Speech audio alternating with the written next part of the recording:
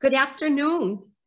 Thank you for joining us for what will be a fascinating Grand Rounds webinar co-hosted by the Massachusetts General Hospital Center for the Environment and Health and our MGH Institute of Health Professions Center for Climate Change, Climate Justice and Health. And as many of you know, we are part of Mass General Brigham, which has launched impressive initiatives around climate and sustainability.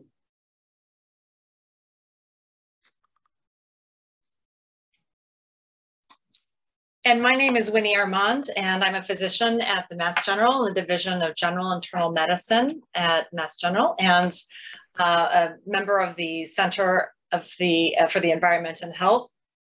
Um, we are so thrilled to be co-sponsoring these monthly webinars with you, uh, focusing on issues at the intersection of climate, the environment, and health. Um, and I think um, the number of registrants that we've had for this talk is a testament to how much we understand that this is a critical and very important topic, as well as a testament to what an important speaker that we have with us today. Um, we're really lucky to have Mr. Gary Cohen with us. Um, just a few housekeeping issues before I introduce our speaker. Uh, closed caption is available. Uh, this will uh, this is uh, enabled by uh, Michael Buznak, who is um, the man behind everything that is happening behind the scenes to put these webinars together successfully. Uh, he also will manage to have this recorded and emailed to you probably by the end of the day. So if you have to leave at some point, uh, never fear, you can see the whole recording uh, later on. The other thing to note is that we do have the Q&A, so please feel free to put in your questions. And towards the latter half of this hour, uh, we will try to address as many as that, uh, questions that you have as we can. So without further ado, I'd like to introduce Mr. Gary Cohen. He's really been a pioneer in the environmental health movement for more than 35 years. I suspect that many of you have heard him speak or know him well for the work that he has done. Um, he has built coalitions and networks globally to address health impacts related to climate change and toxic chemical exposure. Uh, Mr. Cohen is the co-founder and president of Healthcare Without Harm, which was created in 1996 and really has transformed the healthcare sector to be more environmentally sustainable um, and is very supportive of climate resilience in the communities that we serve. Uh, this nonprofit has grown and partnered to groundbreaking initiatives in more than 70 countries. Uh, Mr. Cohen was awarded the Champion of Change Award for Climate Change and Public Health by the White House, as well as received a MacArthur Fellowship. And so I cannot thank Mr. Cohen enough for joining us this hour. Thanks so much, Winnie, and thanks for having me at this webinar. Um, I want to start by just telling you my early experiences uh, with the healthcare sector, which had a profound impact on my life. Uh, when I was 12, my dad was having symptoms of uh, dizziness and unsteadiness. And um, they had just come back, my parents had just come back from a vacation after the tax season. He was an accountant. Um, and so he went to the hospital for tests. Uh, and the next day, uh, he died from uh, a medical error. I was 12. And then two years later, my brother, uh, who was at the time six, um, was taking his bike out of the driveway and was hit by a car uh, as it was speeding down the street. And he was knocked up terribly and was in a coma for uh, 18 days. And everybody thought that he was going to die, including the, the doctors. And um, there was this moment where he was laying in the coma and I, he had he had told me this, you know, this little joke that first graders tell is like, you know, put your hand in here and swish it around. And the joke is, thanks for cleaning my toilet bowl. And so he was laying there and I just thought, maybe I'll do this. And so I, I did this. I took his hand, I put my finger in there and I said, thanks for cleaning my toilet bowl. And he started to laugh. And it was the thing that actually brought him out of his coma. And uh, miraculously, he, he, he, he lived. And he's still alive today. And so from a very early age, I learned that hospitals were both really dangerous places, uh, but also places where miracles could happen. And that's kind of the frame of how I think about this.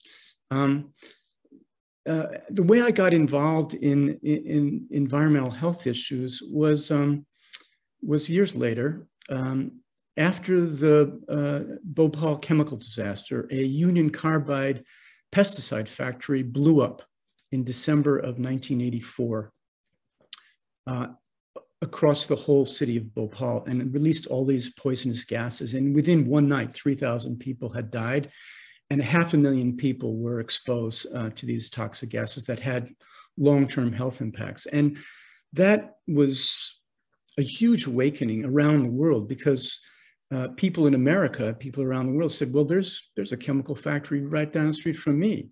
I wonder if that kind of disaster could happen uh, in my community. And that was an impetus for what was then a grassroots movement uh, that was growing in the United States. People that were living around uh, toxic waste sites, people that were living around incinerators, people that were living around uh, polluting factories. And they said, we have a right to know. We should know what are the toxic chemicals that are going into the land, going into our water, going into our air that may be impacting our children. And so I got involved in this burgeoning movement um, that won uh, the first right to know, national right to know law in the country, actually in the world, and also established this idea that polluters should pay for their, uh, their pollution in our communities. Uh, we shouldn't be having to pay the, the social and environmental costs for pollution. Um, as we built an organization around these concepts, around right to know, um, we noticed and we're observing that many of these dumps, many of these incinerators, many of these uh, polluting facilities, they were located in poor white uh, and, and uh, people of color communities all around the country in particular. Um, and so the link between racial, racial inequities and environmental pollution was, was very clear and very cemented. Uh, the United Church of Christ did an analysis that said um, the majority of, of toxic dumps are in, uh, in communities of color. So fast forward um, to uh, middle of the 1990s.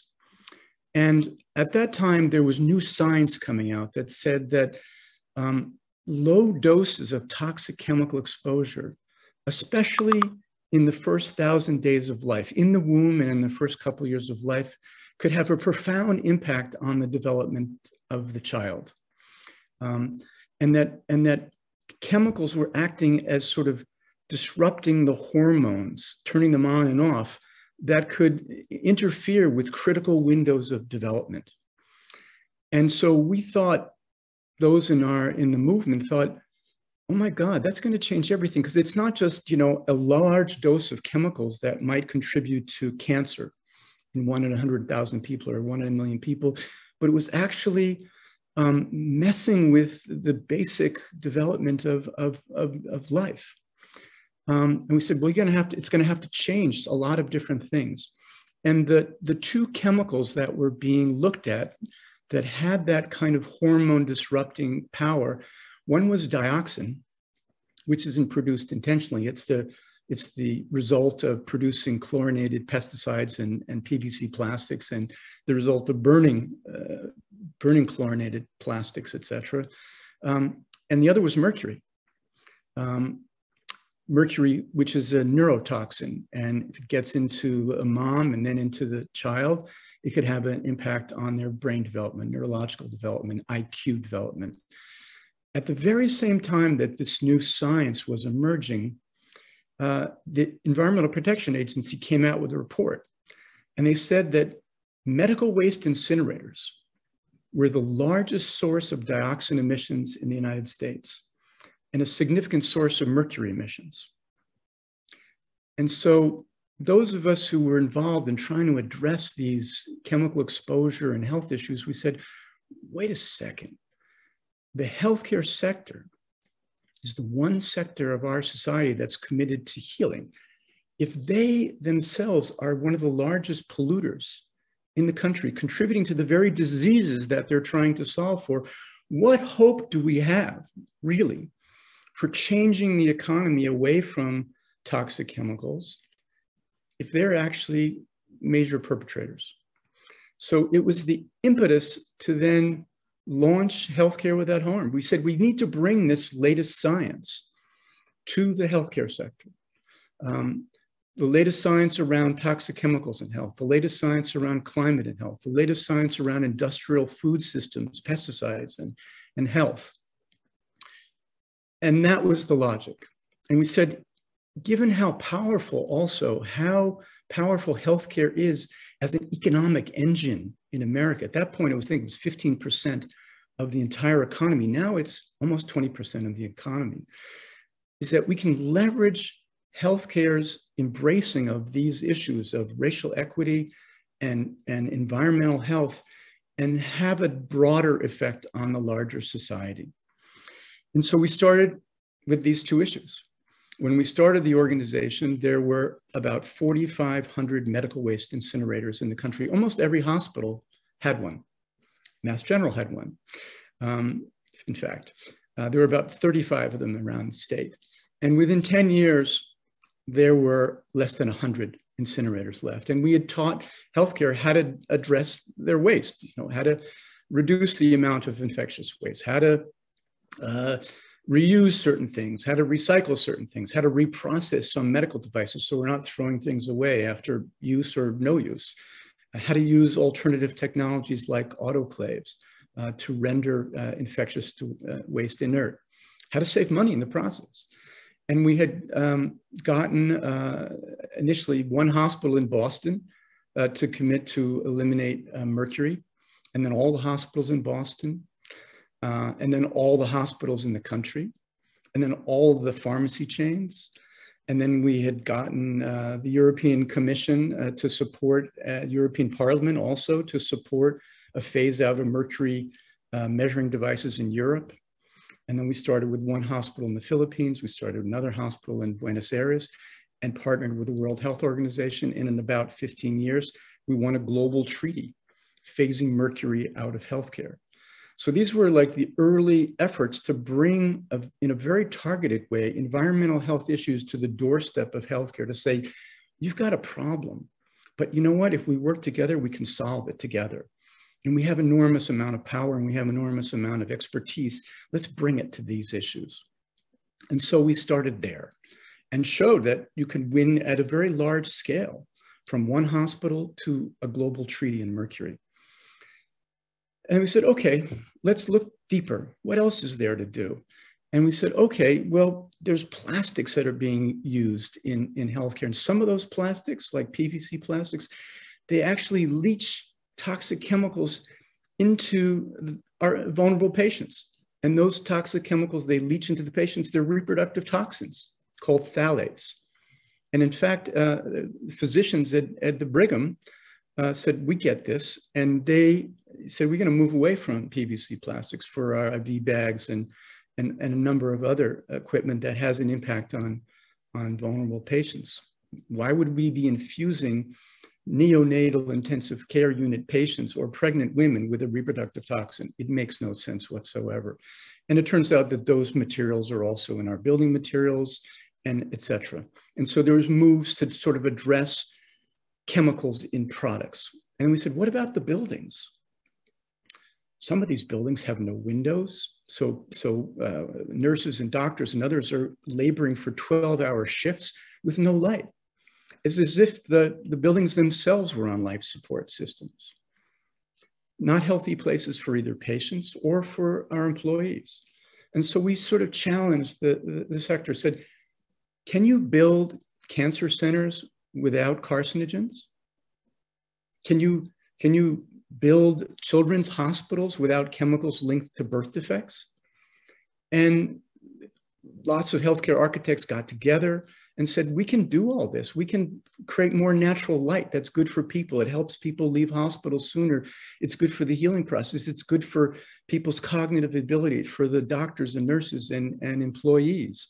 Uh, we can make more energy efficient buildings. We can detox our buildings and make them environments that actually promote healing. Views of nature promote healing. And so uh, there was a huge movement in the country and now around the world to design healing environments in our facilities. And then we said, what about the food? Nobody's really thinking that food is very good when you go to a hospital. In fact, a lot of the food that was being served were uh, junk food, you know, sugar sweetened beverages, food that actually contributed to the epidemic of food related diseases that we see diabetes, heart disease, cancer, stroke. So we said we need to transform the food practices and the purchasing practices of healthcare to move away from these. Uh, we're buying meat that is produced with the overuse of antibiotics that are making the antibiotics in our uh, in our treatment of, of uh, disease uh, ineffective. So connecting what we buy with our clinical care was an, a crucial a crucial connected point. Um, and physicians were advocates for, we, yeah, we can't be, you know, we got to buy meat that's produced in more sustainable ways. We could, in fact, we should be supporting more plant-based diets that are good for people's health, good for the planet, um, and, uh, and good for the climate. And in fact, it costs less money. And so the, the, the role to come to the issue of, of um, climate and health was actually not in the beginning. When we started in 1996, it, Al Gore was talking about climate um, uh, and some scientists, but it wasn't forward in any way in healthcare. It wasn't what people had in their minds. It wasn't in our minds. And so we came to this issue of climate and health probably uh, 15 years into our work. Um, so maybe 10 years ago. Uh, and as the climate crisis has unfolded, now we see how central it is to everything else. So we did an analysis um, that said uh, that um, healthcare is, is contributing about four and a half percent of global uh, greenhouse gas emissions. Um, and inside of that, the United States healthcare system is 27% of all global uh, healthcare emissions. To put that in perspective, if healthcare was a country, global healthcare, it would be the fifth largest climate polluter in the world. It's the equivalent of the annual emissions of over 500 coal-fired power plants. So that's a really important piece because climate is the force multiplier for everything else, for all of the racial and economic inequities that we face in our society, uh, for all of the other problems, we're seeing that climate is, is exacerbating every other problem that we face in, in uh, around the world. And at the center of that problem is fossil fuels. And fossil fuels have a, have a really central place in this larger unfolding drama. One is that just the emissions from fossil fuels and its linked to particulate matter, according to the uh, recent study of the Harvard Center um, at, at School of Public Health at Harvard, fossil fuels killed 8 million people globally in 2018. It's not even related to its climate impact. That's just its, its air pollution impact. Secondly, it's the leading cause of the driver for the climate crisis. So it has a dual function. Three, the fossil fuel industry has also uh, polluted our science by manufacturing doubt. And there's a number of states now that are, uh, that are suing uh, the fossil fuel industry for having lied about uh, climate change, uh, lied about their own impact, created the doubt that saying, well, we need to study this for another 20, 30 years. You know, we, we're not certain. It's not, it's not a settled matter. Paid researchers, and then also they polluted our democracy, honestly, uh, with campaign contributions and endless amounts of money that are making politicians handmaids to their continued dominance in the political process. So fossil fuels is at the center of our collective wound. And what we've also realized is that climate change doesn't affect everybody equally. We're seeing the dramatic impacts now of, of extreme heat in the Northwest and wildfires in California and Montana. And today, flooding, uh, wild, uh, flood, flooding and hurricanes in Louisiana and Texas, extreme heat all over the country and all over the world. So we're seeing all this play out. The people that are most affected are the people that have the least ability to be resilient in the face of it. So people who have already been exposed to uh, air pollution, more likely to have an impact. People who can't afford to have air conditioning, more likely to have impact. People who are living on diesel truck routes, who are living next to some of these really polluting factories, likely to have a more significant impact. There's been studies now in Boston and elsewhere that show that even in many, many cities, the amount of, of tree cover in communities of color is far less than the white neighborhoods. It's, it's the inequality of heat. And in some places, it could be five or 10 degrees hotter in the same city because of tree cover, because of all the redlining that's happened over years. So all these issues are connected. COVID plays into this as well. You're more likely to have an extreme reaction to COVID if you've already got respiratory problems. That means the people in polluted neighborhoods are going to have more uh, likelihood of a severe reaction. So where does that leave us now? This summer was the hottest summer on record. Last year, there were 22 disasters uh, that cost more than $1 billion. The costs of, of fossil fuel uh, reliance and the costs of climate change are accelerating dramatically. Two weeks ago, UNICEF said that 1 billion children are at risk for their lifetime, their health, because of climate change. So, what does the Hippocratic Oath mean in this moment of crisis? when the climate crisis is impacting 1 billion children, if, if, if as the UN um, refugee uh, organization is saying that climate refugees will outstrip war refugees in the next couple of decades. What does it mean when children are being born with toxic chemicals in their bodies, like ticking time bombs that may lead to chronic disease later in life? What is the role for the healthcare sector? What does it mean that all these racial inequities are being multiplied by this climate crisis? Um, what does it mean if we don't solve this, our reliance on fossil fuels in the next decade that scientists uh, internationally are saying that we're, we are, we are creating the conditions for a, for a public health holocaust a couple of, gen, a couple of decades from now the healthcare sector has a fundamentally central role in addressing this crisis. And I'll say the three roles that, that Healthcare Without Harm believes strongly uh, that it needs to play. One is that it needs to anchor the response. It needs to, it needs to be the last building standing in extreme weather events. When there's a hurricane, when there's flooding, it needs to make sure that it can operate if the grid fails. The Spaulding Rehab Hospital was designed in Boston with that in mind. All the, all the electrical equipment is in the roof. The combined heat and power of this facility that allows it to operate if the grid fails is, is in the roof.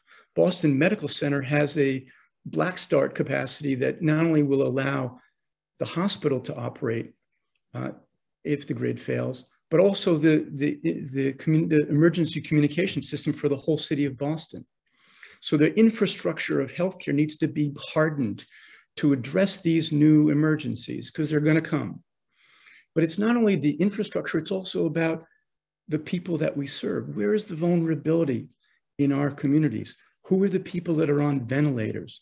Who are the people who are most at risk for flooding? Who are those populations many of them in poorer communities, many of them in communities of color that we have to take care of because we have to take care of everybody. So being at the center of the resilience of communities, both infrastructure and community resilience is a central role. Where do people go in emergencies? Where did people run to after the Boston Marathon bombing? They ran to the hospitals. They need to operate. So that's one fundamental function. The second is that we have to decarbonize our entire healthcare system.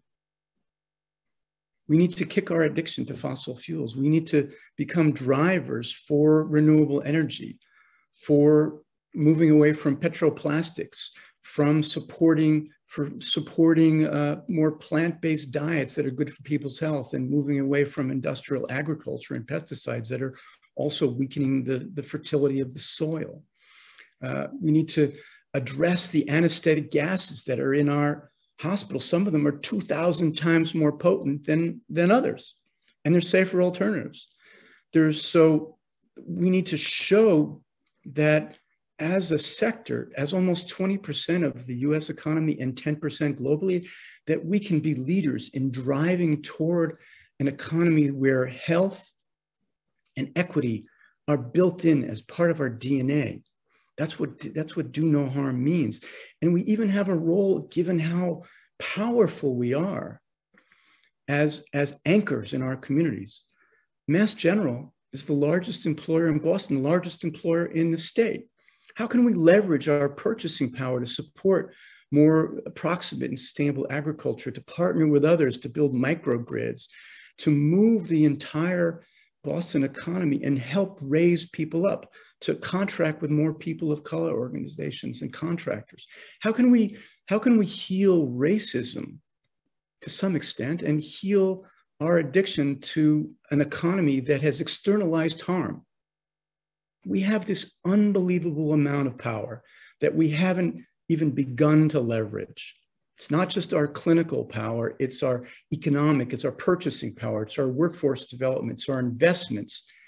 So, how do we divest from fossil fuels? As Harvard just did last week, finally. Um, the third role is leadership. So, uh, we're the most trusted professions in America. Every year, the Gallup organization does a poll and they said, well, Who do you trust the most? What profession do you trust the most? Nurses, doctors, pharmacists are some of the top three, along with firefighters. And we haven't, we're just beginning to leverage the role of trusted messengers. We see with COVID that doctors and nurses are trusted to say, here's the truth. No, don't inject yourself with some of these things that some potential politicians are telling you. Here's what it takes. Here's what masking does. Here's what taking the vaccine does we're trusted messengers. We need to leverage that for this broader transformation, to get involved in the policy space, to defend indigenous communities that are trying to block pipelines, to, to, to stop uh, uh, the fossil fuel industry from continuing to, to uh, drill and, and in the Arctic, etc. And the, the fact is that there's a lot of people stepping up within your own system. You have incredible leaders right here in Boston, Renee Salas and Ari Bernstein. Uh, you have John Meservey, who's a leading architect at Mass General, Jonathan Slutzman, Regina LaRocque, Kate Walsh and Bob Biggio, Dave Maffio at Boston Medical Center. There's all these people that are stepping up now as leaders to say, we need to be part of a broader healing mission, not just our patients, but we need to heal our communities. We need to heal the planet. We need to operate at those three levels going forward and for all time. And what we've been able to do at Healthcare with Harm is to help to create that momentum.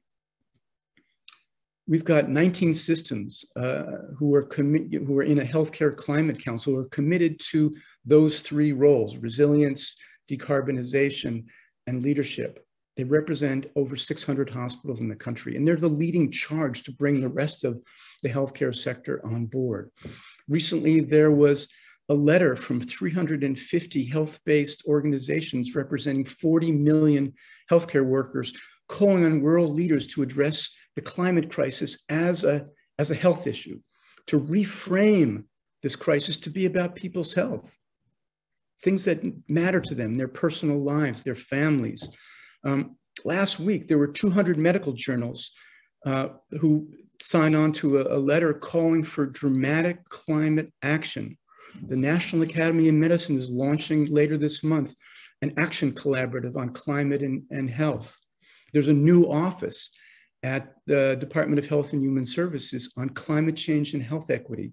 So the momentum around this is accelerating dramatically. And anybody who's in healthcare, we need you. We need you to be champions wherever you find yourself, whatever seat you are in your institutions. Uh, we need you to step up. We need you to show leadership in wherever you find yourself. And there's so many places to intervene in the system.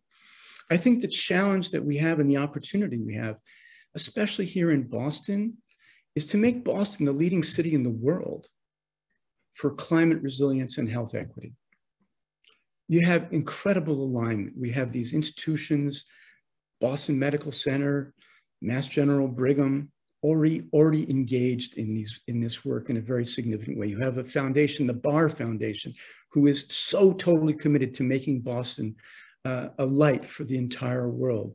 You have strong NGO and community groups. We have um, incredible academic leadership led by the Harvard Center for Climate Change and Health.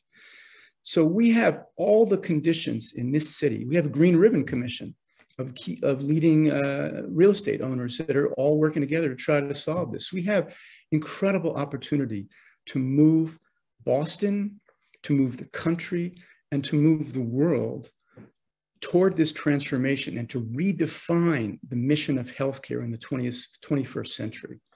So that's the challenge, and that's the offer I want to make to all of you. And now I'm really happy to take questions and comments and let's talk about it. Thanks.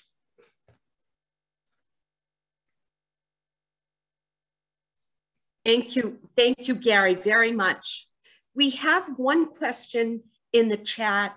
Where can we find the concrete steps that need to be taken to achieve the, the goals that you set forth? Uh, certainly your organization uh, has very rich, robust resources. Would you like to comment on that further? Sure. Um, there is a slide that Michael's going to put up. Um, there you go. Um, that we just put up. It's called uh, healthcareclimateaction.org, and it it um, it identifies uh, the footprint analysis that we did. It, it identifies um, a, a, framework, a climate challenge framework that integrates resilience and decarbonization and leadership.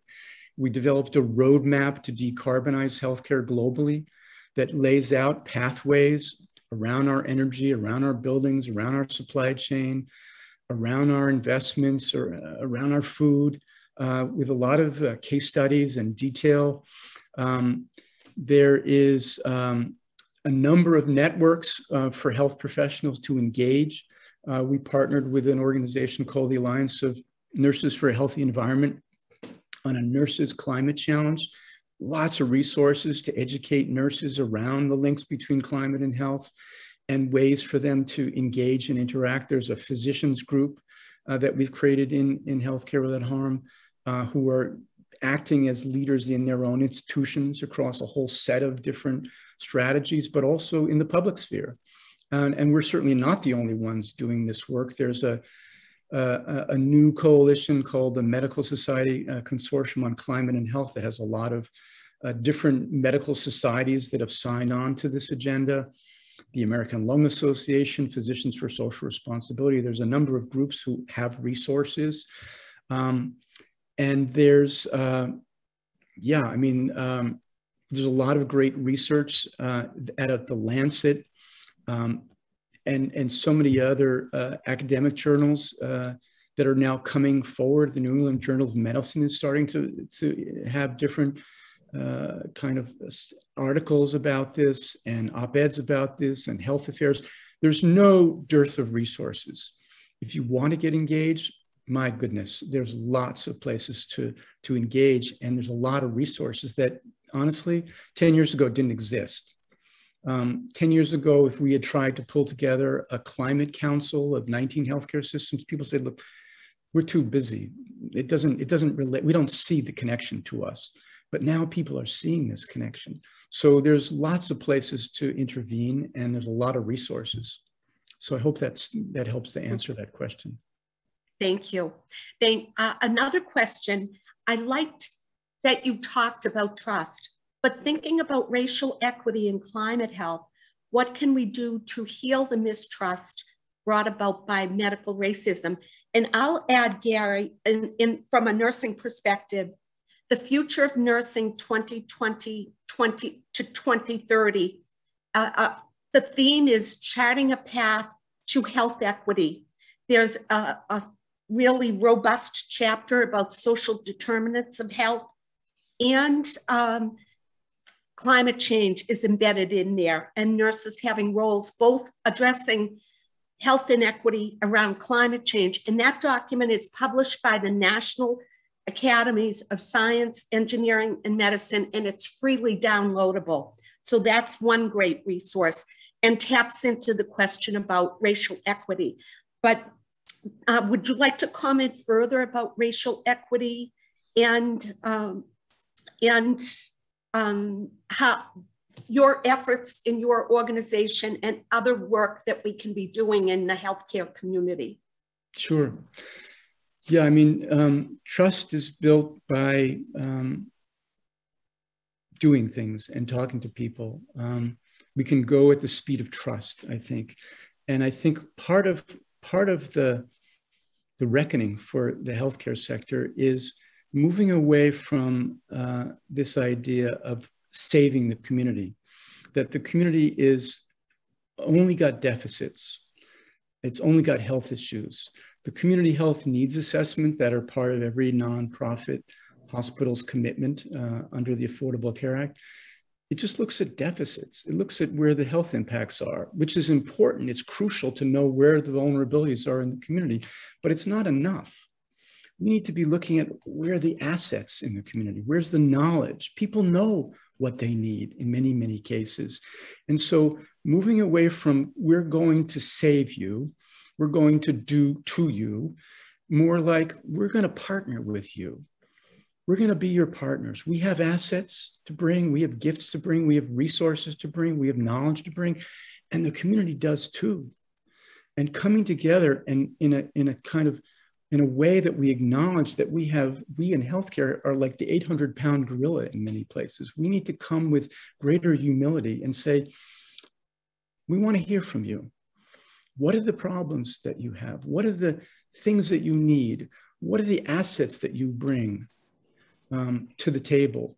And I think there's a there's a group that we've been part of called the Healthcare Anchor Network that's looking at this larger role that, and, and Healthcare Harm is doing it too, this larger role that we can play in addressing these multiple questions, both solving for the environmental health issues that we face in our communities, but solving for the economic inequities, solving for the racial inequities, and coming together to kind of work it out together. I think that's the way to do it. And we've been trying to pilot that um, in different places around, around the country where we create more of a level playing field um, to come and solve things together. Because it's not enough to say we're just going to solve uh, for climate. We have to solve for the health issues that we face, the epidemic of chronic disease, and we have to solve for the racial inequity. We have to solve for all these together. And there are solutions that, that bridge all these things together, and we need to pilot them all over the country and then scale them. Thank you. Gary, I just wanted to actually go back to some of the points you made earlier about the momentum. And I think you're right that there's incredible momentum and it's exciting and it's, it makes me feel very optimistic. Um, there's, uh, there's a lot of ways to get involved. Um, I think that um, it makes sense sometimes to have to be working in parallel because we have our own vulnerable communities here or our own hospital systems. At the same time, I feel like there are so many organizations that are doing very much the same and overlapping, and it seems very inefficient. Thoughts about, you know, the on an organizational level, how to be most effective? Yeah, I mean, it's a good question. Um, it's a good question. You know, we've had this view um, of social change um, which is kind of a network model. In other words, um, we don't need to have all the expertise in our organization. Uh, we don't. Um, but there's expertise all over the place. And the question is to kind of build an ecosystem where that expertise gets lifted up in different places so that um, if somebody has expertise on how to address anesthetic gases in healthcare, as um, one of these anesthesiologists in Providence Healthcare did in Oregon, he said, fantastic bring that to the, bring that to the table, and then we can get others to to to do that. Um, if some system is figuring out how to link feeding people uh, because people are hungry and therefore they're not going to be healthy. If you, if you don't have uh, if you don't have healthy food, you're just not going to be hungry. You're going to have chronic disease. You're going to have, uh, you know, you're going to go for junk food, which is going to con contribute to to a whole set of issues. How do we link feeding people with supporting more sustainable local agriculture. If there's models out there that we're linking those things together, well, God, let's figure out how to scale that. So part of it is, is building an ecosystem where everybody gets a chance to contribute. We're not building a monolith. You know, there's never going to be a, a building that says healthcare without harm. There's a global network that we've built now that, uh, as you said, it scales over 70 countries and has 1,500 different partners around the world because we believe that there's expertise all over the place. And so we don't need to replicate stuff. We just need to raise it up.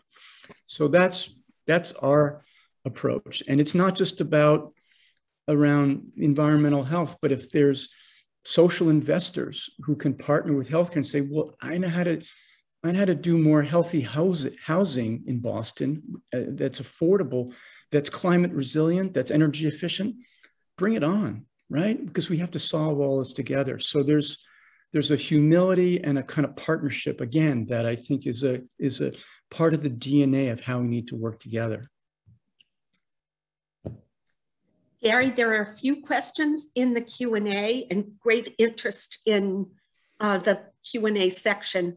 One person indicated that both as a workforce and hospital systems, what advice do you have about going to our hospital and colleagues to advocate for divesting from fossil fuels?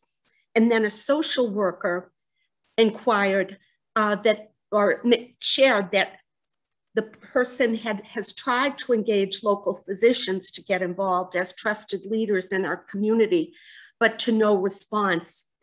Do you see a shift in that? Uh, for example, at Mass General, we now have the Center for the Environment and Health and uh, it seems as if interest is shifting, especially with the release of the sixth assessment report uh, from the Intergovernmental Panel what, that was released in August. And they called it Code Red for Humanity. So I could you offer some comments? Uh, sure. Um, we'll leave. I'll say the, the investment thing second. I mean, yeah. I mean, people are seeing also in their own you know lived experience uh, that the climate crisis is accelerating all over the country. It, it, it's different and all over the world. It, it's different depending on where you live whether it's heat or floods or hurricanes uh, or wildfires. But people's lived experience is changing. Um, and so the climate crisis which was seen as so distant in time and space well doesn't it affect sort of polar bears on melting ice caps and glaciers, uh, that's shifted and it's come home to all of us. That's happening. And so that's fundamentally a, a, a fundamental shift. And thank God the, a, a lot of the reporting, uh, meteorologists and newspapers saying, yeah, this is what climate change looks like. So that is shifting. And sure, the scientists uh, are, are sounding this alarm and people are waking up. Um, you know, if if for a couple of things about the physicians, our experience is that nurses uh, are more responsive than physicians, at least initially. Um, and so we've had a lot more success in really building up, uh, you know, incredible activism among nurses in general. But the physicians are coming along, and I would say that these other organizations um, that are trying to sort of build us and others who are trying to build the movement inside of healthcare uh, for climate action may have may have contacts in your institution that you just don't know about or in related places in your city that you don't know about um, that can hook you up. Um, I, I, think that we're seeing is that there's a there's a much more engagement than before by a long shot, and it's and and I would say we're not living in a linear time frame anymore. We're living in an exponential time frame. So people's consciousness, global consciousness, is shifting much faster uh, than a decade ago. And so th things that are things that were much more difficult uh, 10 years ago are getting easier.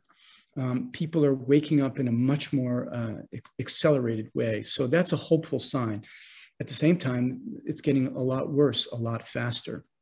So anyway, that's my thoughts about that. Mm -hmm. On the divestment question, um, you know, it's interesting. There's a debate about that. Um, I fall on the side of, of divesting um, from fossil fuels in the same way that we decided that tobacco wasn't a, a, good thing, and, and many, many organizations, including many health organizations, divested from tobacco. It's inimical to the mission of healthcare to be investing in something that's killing millions of people around the world. We're in the healing business, and fossil fuels is not in the healing business. And um, given the role that the industry has played in subverting um, uh, science, in subverting regulation, in subverting, in many cases, our democracy, I think we actually need to remove the social license from the fossil fuel industry in the way that we did around the tobacco industry, around also around those who promoted uh, the opioid epidemic. Um, I, there is an argument on the other side that well if we if we have investments we can influence the industry um, there's one example recently that suggests that there's a place in a very strategic way uh, to do so which is there's a, an organization called engine number one that actually leveraged a whole bunch of socially responsible investors to, to, to get some progressive people on the exxon board it's an exception honestly. And it's a strategic opportunity for a set of investors if that's where they want to go. But in general, I think healthcare should be divesting from fossil fuels. It's actually one of the places um, that addresses its climate footprint. It's its investments as part of it. The supply chain is the biggest part, actually. The energy is there, but the supply chain is about 75% of all of healthcare's um, uh, climate footprint inside of that, it's also some of its investments. So I'm a fan of, of removing the social license of, of, of the industry, starving them so they can actually invest more and drill more um, in, in, in, in places around the world. I think we have to keep fossil fuels in the ground uh, if we have any chance of surviving uh, as a species. Gary, do you mind if I jump in again and ask you a little bit about what you just said about our footprint? Um, I know you had said something about four and a half percent. I had, have seen numbers upwards of 10% of mm-hmm. the greenhouse gas emissions coming from our healthcare system. Um, at the same time, I think about how much we can do uh, for our patients now. You know, the the the the as on an individual level, you know, the patients we have who are intubated with COVID pneumonia after a month and survive the, you know, whatever it may be, the transplants, pharmaceuticals, you know, which we haven't said that word yet, but is a huge part of that as well. So I think that um, in terms of doing no harm on, on, when you take care of patients, it seems like they're, you know, we're at odds because we can offer so much. And there's a reason why we're four to 10% of greenhouse gas emissions. And so balancing the, the technology and the pharmaceuticals with the global, you know, climate change issues is sort of uh, a struggle there. I wonder if yeah. you have thoughts about that. Yeah, of course. Our of course we have to. Uh, our first our first line of defense is to take care of the patient who comes to us. Absolutely, we can't sacrifice that. But I don't think it's. I don't think ultimately it's a contradiction. Um, the fact is, um, we waste an enormous amount of pharmaceuticals. There's an enormous amount of waste in the production of pharmaceuticals. And the pharmaceutical industry knows this. and is starting to realize that they also need to address their larger climate footprint. Um, we can run our facilities on renewable energy that um, cleans up the air, uh, reduces our climate footprint, reduces disease, saves us money. Um, there's many ways that we have enormous amount of waste in our system already and that we've and many of the systems that we've been working with around the country and around the world are showing that we can we can do better healthcare delivery better outcomes with less expense um, and also be environmentally responsible. And even so so I, I don't think it's a contradiction. There's some things we got to work out right? We got to make sure that that we we do have the technologies that we need to take care of our patients. But i think we can also inspire and build the collective power of healthcare to say to the to the supply chain yes we need these life-saving technologies and we need them to be more climate friendly climate smart and ultimately i think we also need to move upstream because we so much of healthcare is waiting for people to show up at the emergency rooms. And if we move upstream and address the food insecurity and the poor food systems, the poor transportation, the poor housing in our communities, those are the social drivers of health, the racism that locks people into poverty. Um, if we address those upstream factors, we in fact will do a great service to our patients and our communities because we'll be preventing disease and solving for these issues upstream. We spend so much of our, of our healthcare dollars at the end of the pipe, as it were. At the end, we're, we're fishing people out of the, the river as opposed to seeing why are they being thrown in the river in the first place. And we know that now. We know that the majority of the health impacts relate to the conditions that people face in their communities. We just need to move the dollars and our focus upstream to address those things. And then we'll really be serving people. I think also it's hard to actually make those changes when you don't have the transparency about the supply chain and how do you make changes with how you're doing if you don't have the information. When you don't have the information about the environmental toxic effects of you know most right. of the things that we're doing. Yeah no indeed. And in, and in part of our strategy working with mass general and with all the larger systems and uh, around the country and around the world is that healthcare systems have enormous power because of their economic power. And so getting them to make these broad climate goals, but also pressing on the supply chain and say, look, we're making these climate goals. We're going to be, we're going toward uh, the race to zero. We're going to be net zero emissions. But you supply chain companies, you have to come with us. You have to disclose to us the chemicals in your products. You have to disclose to us your own climate footprint because we can't actually get there unless you do it with us because of so much. So, transparency, honesty in the supply chain is crucial to make this happen. And if the large systems in the country say, you have to do this, otherwise, we're going to go look somewhere else for somebody who can be more transparent.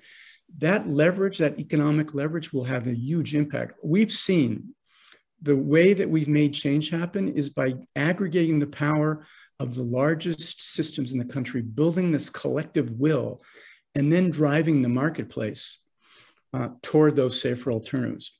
We, that's what's worked. Thank God we now have a government that actually sees the power of, of healthcare playing this larger healing role. It's actually the first time uh, in my lifetime we've seen that. So there's an incredible alignment now between our strategies and the government strategies and all of government approach to, to solving this. So we have, at least over the next three and a half years and hopefully longer, an amazing alignment um, in healthcare, in the government, and even at the international uh, climate treaty level uh, to move this agenda. Because the, the, the last thing is the presidency of the climate treaty negotiations is sitting with the British government now the National Health Service in Britain, the National uh, Governmental Health Plan, has got the most ambitious climate goals of any national government in the country, in the world, I'm sorry. And they're now working with us and the World Health Organization to go to other governments around, around uh, the world saying, let's make healthcare the centerpiece. Let's make healthcare resilient to climate impacts. Let's make healthcare decarbonize um, uh, around the world uh, so that we are all moving in the same direction and healthcare can play this leading role in the global economy. So there's an amazing harmonic convergence that we've never seen before to accelerate progress. Thank you. Um, there's an awful lot, of, I'm Barbara, and there's a lot of questions in terms of waste disposal of healthcare mm-hmm. waste disposal. And I saw on your website that you there's a lot of involvement by stakeholders, non-government as well as government, to um, for alternative uh, processes other than incineration. And I know that there's a lot of energy to waste incinerations. And what's your thought on the energy to waste incinerations and what are the alternatives that you're advocating for? Yeah, we've not been big fans of, of burning um, waste uh, to create power um, because it just accelerates this sort of throwaway economy and it continues to pollute dramatically into the environment, whether it's a medical waste incinerator, or a pyrolysis unit, or a solid waste incinerator. That's how we got started in this work. And we're still believe that there's a whole set of alternative technologies um, that can address the waste, but we have to shrink the waste dramatically. Um, and so that's part of it. We need to reprocess so many more devices so that when, you know, after a surgery, a lot of what is not even been used, but it's been open is thrown away. It's not even been used or it's been used once. So reprocessing a lot of the things that, that are now being used, reusing things, recycling things that could be done. This isn't rocket science. Um, some systems uh, around the country are getting 45%, 50% recycling rates. It's not the only solution. And we need to move away from some uh, sort of worst in class materials like some of these toxic petrochemical plastics. So, I mean, it's a, it's a long answer, but there's alternative treatment technologies, but there's a lot of upstream uh, solutions that can reduce the amount of stuff that we actually use and the amount of stuff that we then need to either burn or deal with some other way. Mm. Mr. Cohen, we've come up to time. We are so grateful to you for your, your efforts, your long history in engagement in this important work, and we thank you. Thank you so much. And um, I'm, I'm, interested if there are people that want to get engaged in, in this work in your network and continue to uh, become involved. We are, we want, we're looking for recruits. We want anybody who's interested, we'd love to find a place for you to, to participate, you know, in Boston and elsewhere. So uh, thank you so much for having me. Thank you. Thank you, thank you. Our next our next Grand Rounds webinar is Wednesday, October 18th at 12 noon. We look forward to seeing everyone.